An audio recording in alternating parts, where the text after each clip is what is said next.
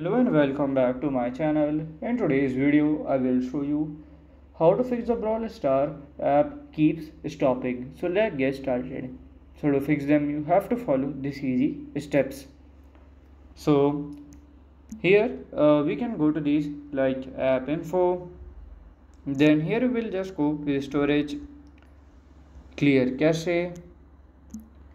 Then here you can open and done so this is how to fix the Brawl Star app keeps stopping.